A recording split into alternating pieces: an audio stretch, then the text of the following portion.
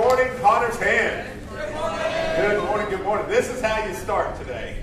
We have baptism, and we are so excited to, uh, to share with you what's going on. I want to welcome all of you for being here, and if you're joining us online, we have campers, 15 of our very own kids are with some of our staff and volunteers. They are over at Camp Willow Springs, and they're joining us a little bit later, so we want to wish them safe travel. Come back. We miss you already.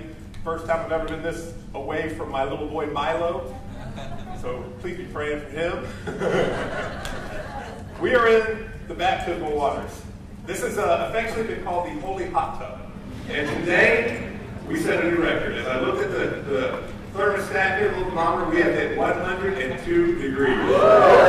Yes. Who would like to join me in here? This, this is awesome. In fact, I'm going to preach from here today. It's going to be an awesome day. My temperature's rising. We're excited. You know, anytime somebody's baptized, it's always a powerful statement. But there's something special when it's the adults that come forward and they make a profession of faith, whether they've been saved as a, as a younger child or in their adulthood. But when they come forward and say, you know what, I want to follow the Lord of believers baptism. I haven't done that, or maybe I've done that prior, but I really want to make it a commitment. It's just something powerful when an adult does that. So our first person today is Ed McCauley. Ed, come on in, brother. We are so glad to have him and Teresa. His two sons are here today. So good to have you guys here. You, sit right here. And if you, uh, if you haven't met Ed and Teresa, you need to. Two words food. Okay? They were the ones a few Wednesdays ago that cooked everything. They took care, they catered our entire Wednesday night refuel meal, and I gained seven pounds in 13 minutes, and it was fantastic. So we, we love you guys. You've been an awesome addition to our church family. Ed, it is an honor to baptize you today. I'm so proud of you. I know your family's proud of you. And uh, really, there's no higher honor to, to be able to baptize a brother in Christ and to say today to the world, we are all in. And that's what it's about. And that's what the world's looking for for people to stand up, to boldly de- de- declare no more playing around.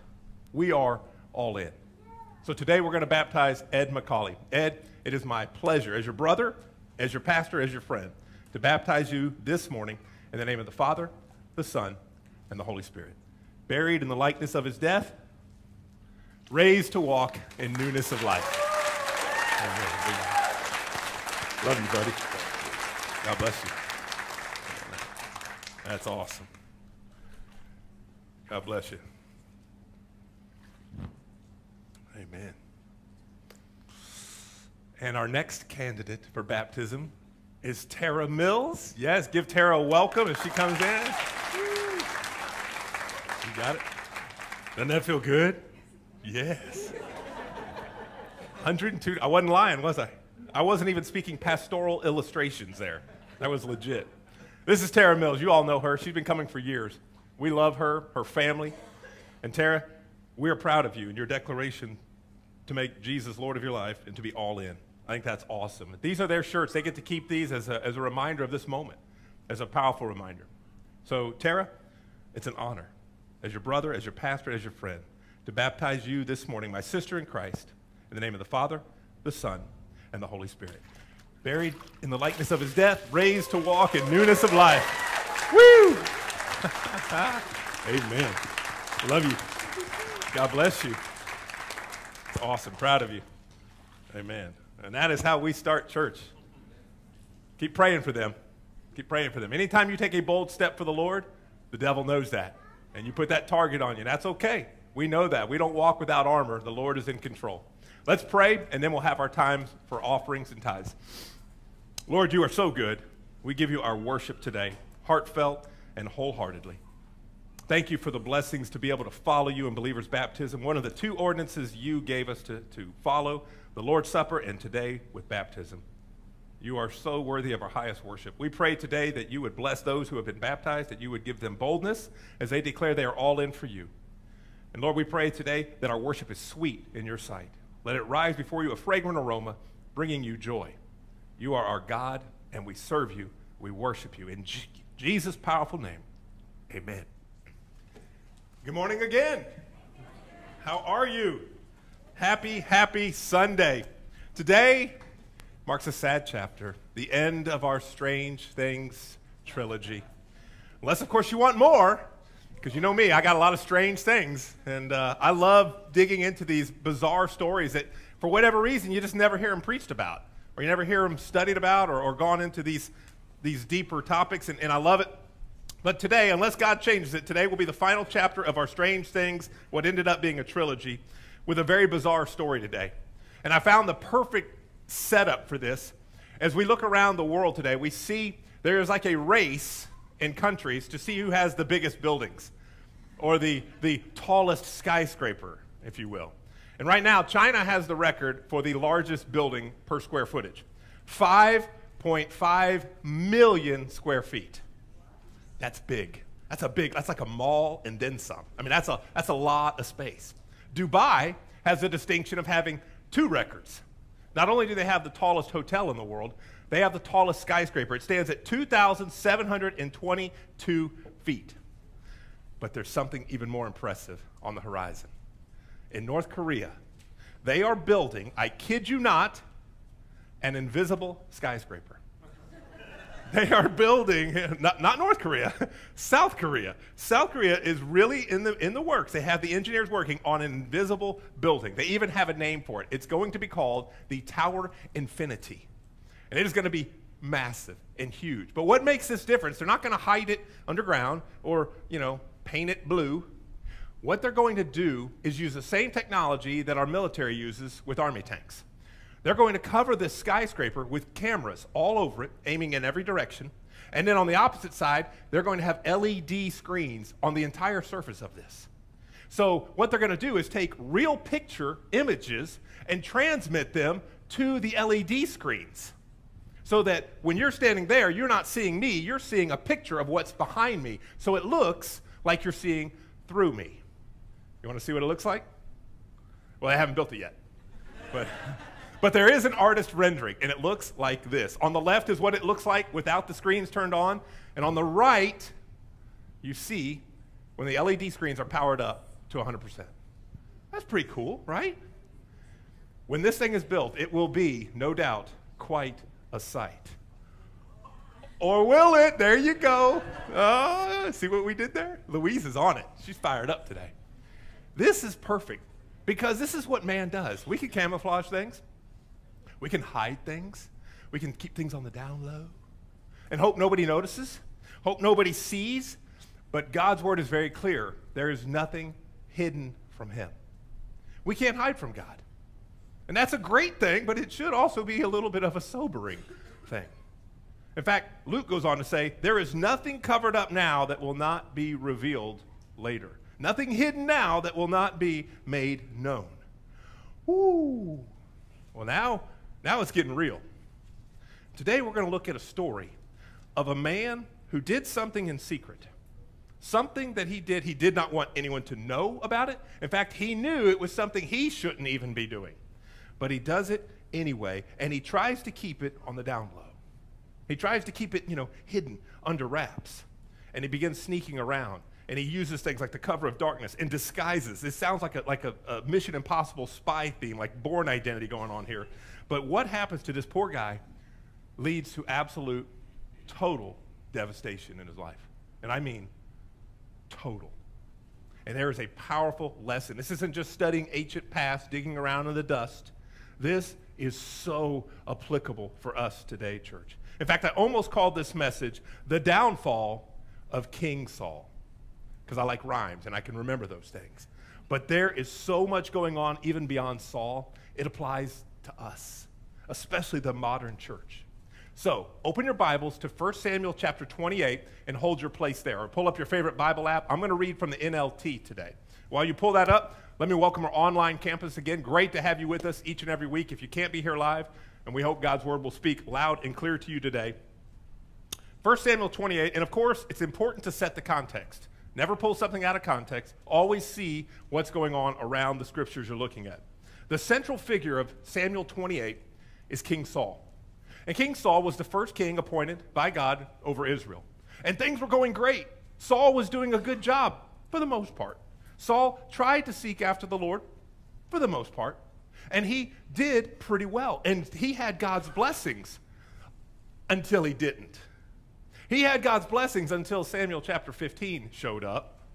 When God gave him specific directions I want you to go with the army and annihilate the evil, wicked Amalekites, destroy them, and leave nothing standing.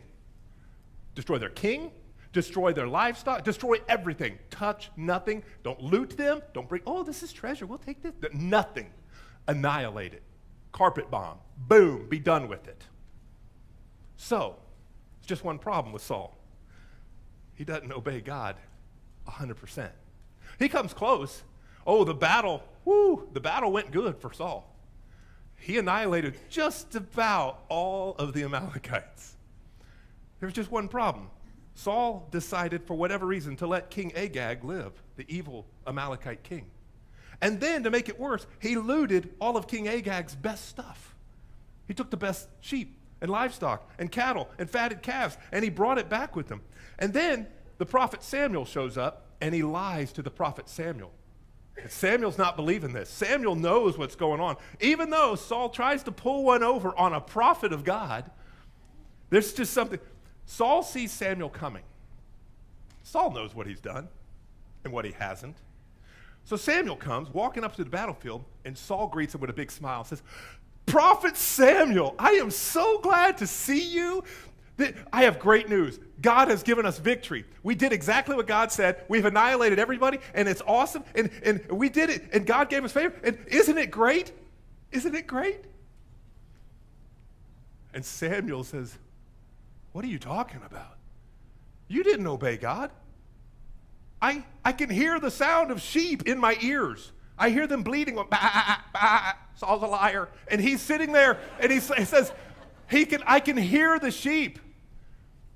And Saul does what many of us do. Says, what? oh, those sheep. yeah, about that. I mean, I'm going to sacrifice those to you. They're for you. They're for God. I mean, we're going to feast. We're going to uh, uh, we're going to thank God for the victory. Yeah, yeah, that's it. We're going to do that. And the prophet Samuel, let's just say he's not falling for it. He's like, what are you what are you trying to say? How can you y'all know, let's be honest. When you come home and your kids greet you at the door and they're just a little too excited to see you, like, Dad's home. Awesome. Dad, hey, Dad, how you doing? Can I take your briefcase? Would you? Can you need a foot rub? How about that? Oh, you look tense. How about some back rubs and shoulder? Oh, you have had a hard day. Can I get you anything? I hear the Bama game's on. Can I get you a Diet Coke? You got the new Stryper album? This is gonna be. It's a great day. They go on, and you know something's up. You know they're guilty of something. You just don't know what it is yet. But you know it's not normal. They're just a little, and that's how Saul was with Samuel. He's like, Samuel, so good to see you. And then Samuel lays it out and he pronounces a strong judgment on him. In fact, I have it here for you in 1 Samuel 15. He says, You have rejected the word of the Lord, and the Lord has rejected you as king over Israel. Until the day Samuel died, he never went to see Saul again, though Samuel did mourn for him. And the Lord was grieved that he made Saul king over Israel. And from this moment forward, church, don't miss this. Saul's life was never the same. It was marked with fear and, and bitterness and jealousy and fits of rage. And he would go through mountaintops and then go through depression and paranoia. So, fast forward a few years, Saul finds himself now in the battle of all battles with his dastardly enemy, the Philistines, of course, with Goliath and all those bad guys. He finds himself in a horrible battle, but he doesn't have a word from God, and he freaks out. Now, this time, the prophet Samuel is dead. He's gone on. He's in Abraham's bosom. He's enjoying paradise. And Saul is desperate for a word uh, from the Lord. So he does something he's not supposed to do something evil, something wicked, something explicitly forbidden. He consults a witch. And that's where we pick up the story today. Look with me, starting in 28, verse 3. Meanwhile, Samuel had died, and all of Israel had mourned for him. He was buried in Ramah, his hometown. Don't miss this next part. And Saul had banned from the land of Israel all mediums. Okay, if you're not familiar with that term, that's uh, psychics, uh, witches, fortune tellers, soothsayers, uh, anything like that that dabbles with the occult and, and trying to, to, to tell the future and discern spirits like that, okay? And those who consult with spirits of the dead. Verse 4 the Philistines set up their camp at Shunem, and Saul gathered all the army of Israel and camped at Gilboa. These are very close together, by the way, separated just by a, just by a few miles. When Saul looked out and saw the vast Philistine army, he became frantic with fear. So he asked the Lord, What should I do? But the Lord refused to answer him, either by dreams or by sacred lots like the Urim or by the prophets. So, right off the bat, we see something very interesting here. We see a, a, regression of Saul. There's a slippery slope that's about to happen in three phases that he just goes from here to here to down here, and then total devastation. The first thing he does is the right thing, and he tries to talk to God. He tries to pray. And that's good. That's appropriate. He goes to the Lord and he tries to get a word from it that's acceptable and that's right, except for when God doesn't answer. Now, why doesn't he hear back from the Lord? Saul's heart was not right with God. You ever been there? You ever had sin in your life where you just you felt like your prayers were not getting any higher than the ceiling? There's no way God's going to answer me. I mean, after what I've done or all the good I should have done that I didn't, I mean, there's, you know, it was a barrier to him. And it frustrated him, and rightfully so. Now, right then and there, he could have repented, confessed his sin, and quite possibly the Lord would have answered his prayers, and we never would have seen what happens next. But that doesn't happen because his sin is a barrier from hearing from God. So, secondly, look what he does. After he can't hear from God, he lowers his standards a little bit and he seeks some form of dream revelation. Now, on the surface, we think, well, okay, no big deal, right, Pastor? I mean, God does speak through dreams. We see it from time to time in visions, and he gives people insight that way. Here's the problem that is on the Lord's timetable, and that is at the Lord's behest when he gives a vision. Saul had forgotten this. Saul was treating the Lord's visions and dreams as if he was a genie. I'm going to rub the lamp, and God, I need a vision. I need a vision right now. Can you? And I, I'm not even sleepy, but I need a dream. Would you please give me? And he doesn't hear anything. So guess what they do next? This is very common. When somebody is desperate to hear something from the Lord, many times they take another step and lower their standards even more, and they take a hallucinogenic, whether it's a pill or, a, or they eat something or they drink something to help, help uh, manufacture this uh, dreamlike trance. And they go into almost a drug induced trance in which the dreamer is just hoping he'll see something from the future. He can go, that's it. that's got to be from God. Here's the problem drugs don't bring you closer to the Lord. It doesn't matter if it's legal or not. Drugs don't bring you closer to the Lord. In fact, they further cloud your mind from hearing God. When you allow these things and you're not in control of your mental faculties, guess what? You open yourself up to lots of things to your own delusions, to other people's insights that may be horrible wisdom, where, where if you were in full control, you would have said, uh, bad idea, no thanks. Or you get so far gone, you can open yourself up to demonic influence, none of which is something we should aspire to. So Saul is going down this slippery slope and he still doesn't hear it. So he does a third descending and his unraveling. When the dreams didn't work and the prayers didn't work and the visions didn't work, he lowers his standards again and he consults the Urim. And he didn't do it like a high priest would. All right, if you're not familiar with the Urim, it's often mentioned in conjunction with the Thummim. Two flat discs, two stones that the high priest would use. If you remember the high priest when he would wear the ephod, and he had that beautiful breastplate with the 12 stones representing the tribes of Israel, and, and it was beautiful, and it helped him remind who to pray. The, the Thummim and the Urim were flat discs, likely to be used to, to discern God's will. There's still some discussion about it, where one side would say yes, and the other would say no. And they had two. And when they cast them out, if they both agreed, there's your answer. But when one disagreed, they said, That's not from the Lord, and they sought further guidance. But the high priest used them. And he used them ostensibly at the Lord's behest. Saul didn't. Saul started treating these as if they were fortune telling stones, like, like modern day tarot cards or, or going to a Ouija board or trying to consult a psychic and have your palm read, or the astrology, or your horoscope. Oh, I got to find out what's going on. Y'all, all of that is bad news for a follower of Christ. That is not where we are supposed to be seeking our wisdom at all. These things have become so acceptable, not only back then, but today. They have become so normalized that good, God fearing people dabble with this all the time, thinking it's just harmless fun. And in fact, years ago, it led me to, to accept the honor to, I got to direct a feature length film that was nationally distributed called Paranormal, and it dealt with this exact uh, theme, if you will.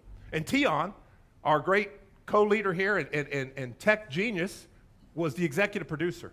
And this thing went viral. It went crazy. It did so well. It made somebody a lot of money. It wasn't us, but whoever distributed that is doing well. You're welcome. And this movie hit such a nerve because it tore the mask off and the truth exposed the darkness of what people were dealing with. And y'all remember that scene? We had Rusty Martin, who was in Courageous. He was the guy, you see him on the left there. We were playing with this Ouija board, and we had this real powerful scene. If you remember Wayne Holt, and that's his daughter Rachel Holt right there. And we had this thing, and we had magnets, and this Ouija board slid all over, and it was freaky. And we had ghosts appearing, and all kinds of trying to show that what you think you're dealing with is not your great Aunt Sally from beyond the grave. And it was powerful. And it hit such a nerve. And youth pastors were saying, Thank you for doing this. I've got kids that are doing this. And man, I grew up playing with this kind of stuff. And I didn't realize what I was doing until I looked at Scripture and saw that God hates it. And there's a reason. And I'm going to tell you that reason. It's not what you think it is at the very end. It is so powerful. So Saul is doing things that he thinks he's, he's either going to get away with or God doesn't really mind or God's going to look and go, eh, I'm going to wink at that sin, no big deal. Here's the problem it's not a small thing to God. And it begins to unravel his world. And this is where things begin to get a little dark and a little creepy. Enter the witch of Endor. Saul makes a statement to his advisors in verse 7. He says this Find me a woman who is a medium, so I can go and ask her what to do. His advisors replied, Oh, hey, there's one right over here at Endor. There's so much wrong in that sentence. We're going we're to address that. There's so much wrong. But I got to address the elephant in the room here because we have a lot of Star Wars fans that are giggling right now. Because when you hear the word Endor, you immediately think the forest moon of Endor where we met the Ewoks. I'm sorry, this is not a sermon about that. But I do want points for working in yet another Star Wars reference right there, okay? It's not about that. This is about consulting a witch at the city of Endor, a medium. And Saul goes out, and there is, there is so much wrong with this right off the bat. Something I never dawned on me till, till just this week as I researched this. Saul had banned all mediums. In fact, anyone who practices witchcraft, it was illegal. He knew it, everybody knew it. Isn't it interesting that in spite of this ban, Saul's advisors knew exactly where to find one? Does, does that dawn on anybody's mind? Like, I banned it. It's illegal. I can't. If anyone of it, you will be stoned if you. Do you know where one is? Right there? Okay, let's go. And it's just like, yeah, we know where one. She's right over here in Endor. Isn't that straight? Y'all don't miss this.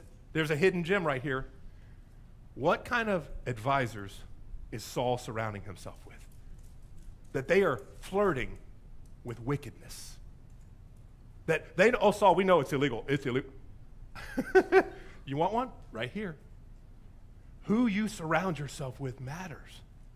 Young people, hear me. Who you listen to for advice matters. Who you give your ear to matters. Seek godly counsel. The fact that you're here today, listening and going to Bible studies and small groups, shows me your heart is in the right place. And you, you hopefully are surrounding yourself and letting God's truth drip into your ears and not having that giant doggy cone thing that just says, yeah, drip here, drip your poison, drip your lies. This is a very revealing moment. And from this moment, it gets worse and worse for Saul, and it just becomes tragic. Now, he goes and consults a medium, and if you're not sure what that is, again, that's a fortune teller. They practice fakery, and they practice pretending, telling a person what they want to hear, and gladly taking their money. They're happy to take your money. Or, when things really turn dark, they contact what the Bible calls familiar spirits. Well, this is where you've really done a no no. Familiar spirits are demonic entities that are enabled to, to come to the medium and mimic a personality or to mimic a familiar situation to where that person says, Oh, I think that's them. When the medium allegedly contacts these familiar spirits, they can appear to know things. They can appear to have insight and information from beyond the grave. And that's what somebody who's desperate wants to hear. Do you see how it feeds? You want to hear this? They have some information and they can fake the rest. There's just one problem with this. Saul knew this is a no no. He knew the scriptures. He full well knew about Deuteronomy 18 that says this Let no one be found among you who sacrifices his son or daughter in the fire, who practices divination or sorcery, interprets omens, engages in witchcraft, or casts spells, or who is a medium, or a spiritist or who consults the dead. Anyone who does these things is slightly annoying to the Lord. Oh, yours doesn't say that? What's the word? Detestable. Well, now we're not kidding around. This is something God hates, something he abhors. It is detestable. Look how God compares it. Notice the first, the second sentence. He compares it with those who sacrifice their children. They would do that to the, to the evil god Molech, and they would give their babies to the fire. Incredible wickedness. And God, God compares consulting mediums in witchcraft. He says, it is an abomination to me. So, right there is a huge takeaway for us. Saul knew that it was wrong, but he chose to do it anyway. Ooh, uh oh. now, we don't do that. We don't ever know something's wrong and do it anyway. So, you're safe here. This is just about Saul right? Right? Uh, you don't have to worry about this because that would hit very close to home. This is, this is we're just going to peek in on Saul's horrible, pathetic, miserable, sinful life, and we're just going to judge him right now because it is incredible that somebody who knows the Lord would ever know something is wrong and choose to do it anyway. It's awfully quiet in here. That's good. That's good. That's God convicting every one of us. And if you're not quite sure that Saul knows this is wrong, look at what he says next in verse 8. So Saul disguised himself by wearing ordinary clothing instead of his royal robes, and then he went to the woman's house when? At night, accompanied by just two of his men. This verse alone should reveal to us how desperate and how disobedient Saul was willing to be at this moment. This is powerful. Don't miss this. His desperation led to an even greater disobedience. Here's what you may not understand about the city of Endor. For Saul to go and consult this witch, he had to take drastic situation and go uh, under the cover of darkness. And guess what? To get to Endor, guess where he had to go? This is, this is hilarious. He had to go through the Philistine camp that he was afraid of. Endor was over there by Ryan. Here's Gilboa, and he has to go through the Philistine camp. The one he's terrified of, the one he looked at and said, Oh, I need a sign. How do I beat this huge army? So he has to sneak through this. What makes it even more crazy is he disguises himself. He takes off his kingly robes, he takes off all the things that identify him, and he disguises himself. That's a dead giveaway. When you have to disguise yourself, something might be up. Now, why did he do that? Obviously, the Philistines are going to be scouting and patrolling, not be caught. But guess what? I wonder if it's so he doesn't get caught by his own people. Think about it. Here's King Saul, you know, puts his hood up, he's sneaking through, hunting wabbits, and he's going through the valley, and here's his vast Israel army. They're like, hey, Saul, what?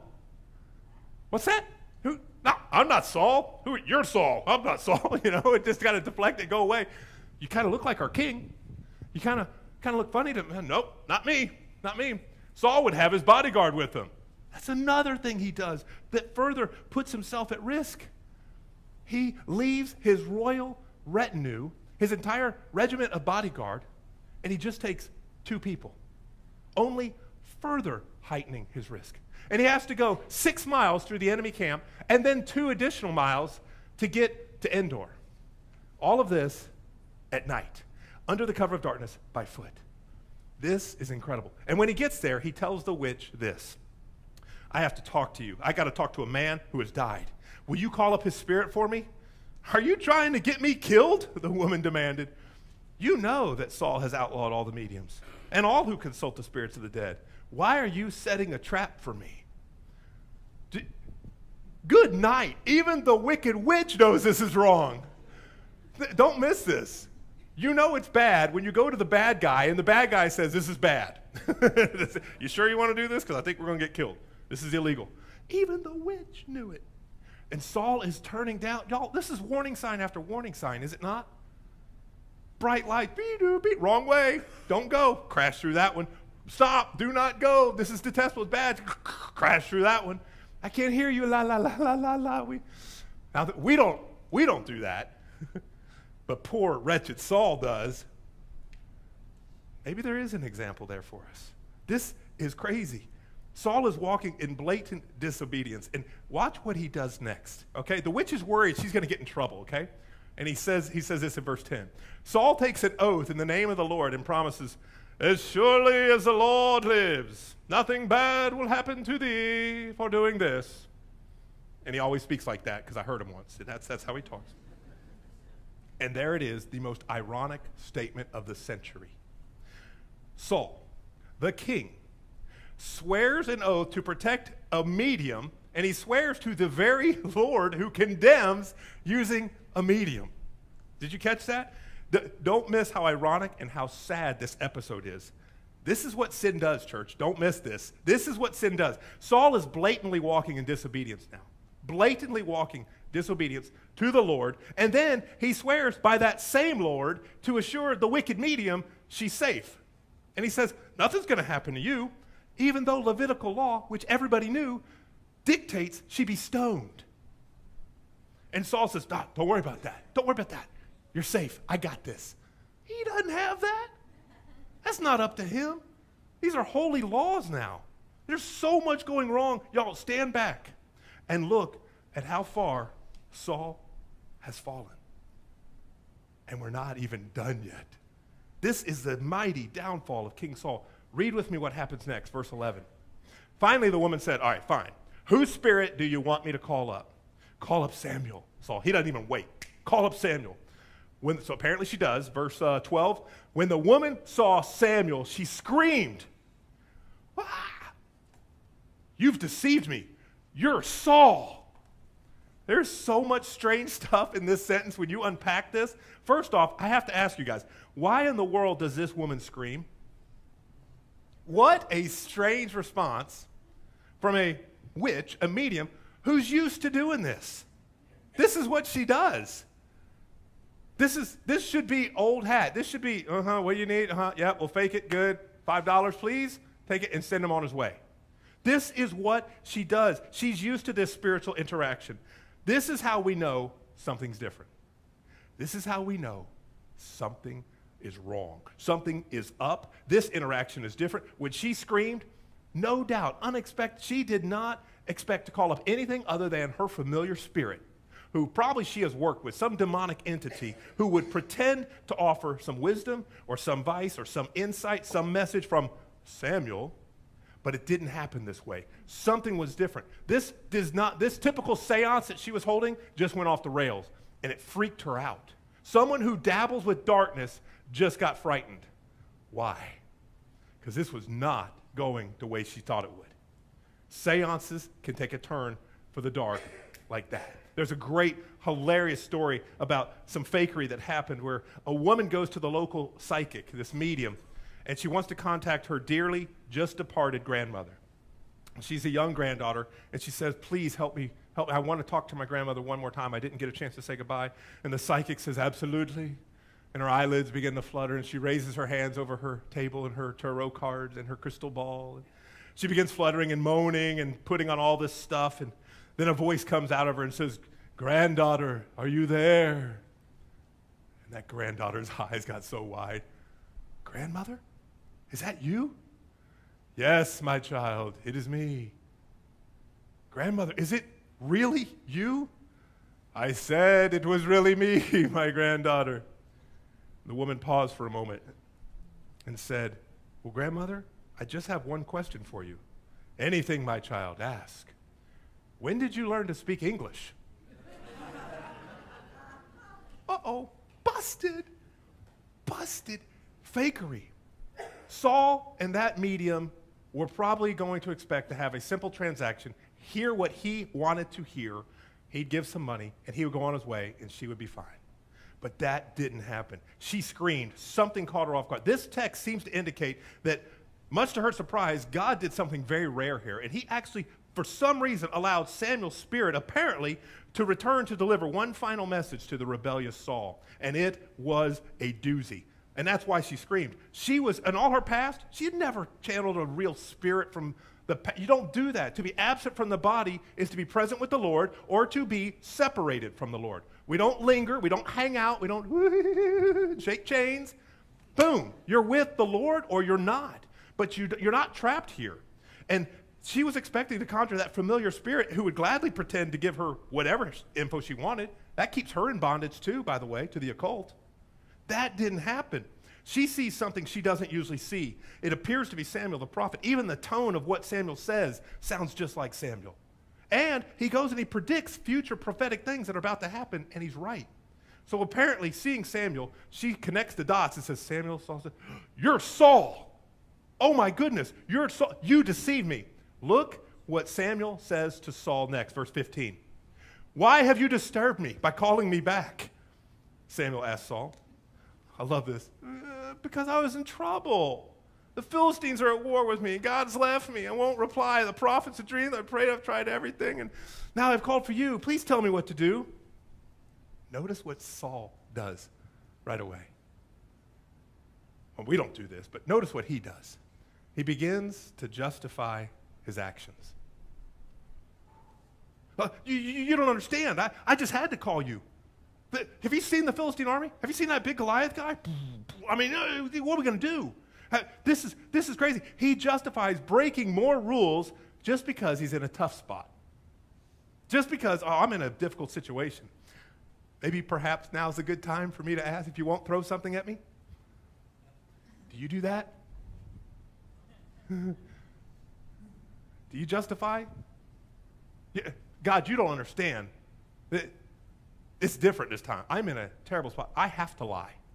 You don't understand. I, I have to cheat on my spouse. You, I just have to. You, you don't understand. I, I don't like the government. I am cheating on my taxes and keeping more of it. I am justifying this. Never mind, render unto Caesar what is Caesar. Man, y'all are quiet today. it's so interesting what Saul does to justify what is blatant and explicit sin. Notice what Samuel says next, verse 16. Samuel replies, Why are you asking me? The Lord's left you. you become his enemy.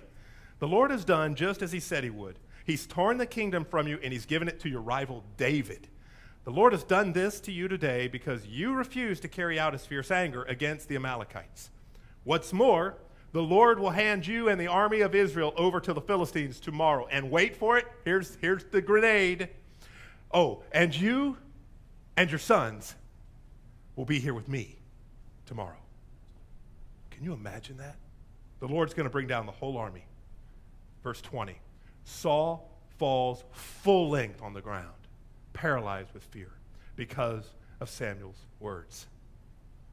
Evidently, Samuel is not playing around. Not only does he not tell Saul what he wants to hear, he, he says, But why you got me conjured up, let me, let me give you just a little bit of a little bit of prophecy what's about to happen. You're going to die and kids. On your kingdom, yeah, it's gone. All of that. No wonder Saul falls down like a dead man and he lays in front of this vision. We've got a picture of this that just shows it's so powerful, this painting. The news is devastating. He collapses as a dead man, paralyzed with fear. This one comes up. I mean, he names David by name. He alludes to him. He talks about Saul's failure to annihilate King Agag and Malchus. No wonder Saul took this warning so seriously. Samuel says it as bluntly as he can Tomorrow, you and your sons will be with me. And guess what? The next day, the prophecy comes true. Saul's mortally wounded, and eventually he falls on his own sword. Within 24 hours, he is done. And there it is. The devastation is total. It has absolutely been a cataclysmic downfall of King Saul right before our eyes. Total devastation. But here's the tragic part, and don't miss this it could have been avoided. It could have been avoided. Think about this. So, what about you? What can you take away from this strange story? What can you take away to help us all live more like Christ? Because that's what matters now. How do we look at this? As we look at the tragic downfall of King Saul and the witch of Endor, here are the lessons for us. I'm going to leave you with three practical things that you can do today. Here is your challenge. If you'll take these and go with them, they will help you walk more like Christ. Number one, remove any barrier that hinders your relationship with God. Because that's what unraveled this whole thing from the beginning. If his sin had been confessed, he would have heard from the Lord. What is it that is likely separating you right now from clear and open communication with the Lord? Ask yourself that. And you're safe here. You're allowed to find that out. We all have that from time to time. That happens. Confess it. That's what, that's what the verse says. His barrier was unconfessed sin. Look at this verse in Isaiah. He says, It's your sins that have cut you off from God. Because of your sins, he has turned away from you and he will not listen anymore. Man, that's powerful. Practical application for us all. Number two, refuse to allow any evil to influence your life in any way. Ooh, well, that's big. That's broad and encompassing. Yeah. The New Testament says it very clearly. Don't even give the devil a foothold, not even a toehold. Why would you dabble with this stuff? When we open the door to things like that, we expose ourselves to, to false truth, whether it's simple things that are goofy, tarot cards, horoscopes, palm reading, seances, communicating with psychics, media. You know the Psychic Network? Remember that? Remember Dionne Warwick? The Psychic Friends Network? You could call in and do that? Guess what? It went bankrupt. You would have thought they would have seen it. uh, is it just me? Think about this. Even they didn't see this coming. It's such fakery unless you've tapped into the demonic world, in which case God says it's detestable. Do not play with that. Now, here's why. I told you I promised you I'd, I'd, tell you why. Here's why it's such a big deal, okay? This is huge. This, this classifies as a full blown truth grenade, okay? You ready for it? Even if you say, seek information, and it may appear to be helpful at first, here's what happens little by little, and it may be where you don't even realize it's happened. You begin to find yourself seeking answers seeking wisdom from a source other than God. That's idolatry. That's punishable by death in the Old Testament times. That's idolatry. That's putting, taking God off his rightful place as Lord of your life, his throne. When you say, I'm all in, and saying, I'm all in, but I need an answer, and you're not giving it to me. Hey, little creepy lady, how about you tell me something here? Light some smoke, and we'll do something. The table's going to levitate and all this stuff. No, a thousand times no. God says, don't do that. You're opening yourself up to demonic things. There, there's a God, little g behind that, I'll guarantee you. It's a demonic force saying, Yes, worship me. Uh, anything to take the attention off of Yahweh Elohim because they're mad. They can't stand what's happened. They know their future, they know a lake of fire awaits them. Yeah, it's real. This is incredible. When we dabble, when we seek wisdom and advice from someone other than God, y'all, that's an affront to Him. Believers, we should never do that. We don't need it. We could go to the source. We have to have patience. He may not answer on your timeline, but that's where the maturity comes in, which leads us to point three, and then I'm done. Seek a deeper relationship with God, and you'll find what you've been looking for. There it is. It all comes down to this. Look at Matthew chapter 6, verse 33. But seek first his kingdom and his righteousness, and all these things will be given to you as well. There it is. The practical application from a story three and a half thousand years ago still relates today, still speaks today. God's word is so clear, and he has spoken today. My question is how will you respond? Let's pray. God, I thank you that your word is alive and cuts like a two edged sword as you promised it would, able to separate bone and marrow, able to get to the core of our hearts. Lord, you, you gaze at us and you lay us bare. There is nothing hidden from your sight. And Lord, while that honestly thrills me, it also terrifies me. And I thank you, Lord, that in a group of my friends here today, we can be open and honest and candid with you to confess our sin individually, corporately. And Lord, we repent of that. Bring it to our mind so that we can confess it and you can move that barrier and we can be in fellowship with you again. God, I thank you that you didn't give up on us. Thank you for being a God of second and third and fourth chances and on and on. Lord, you are so good. You're worthy of our worship today. Thank you for meeting with us. Thank you for giving us your word to speak loudly. We love you. We pray in your name. Amen.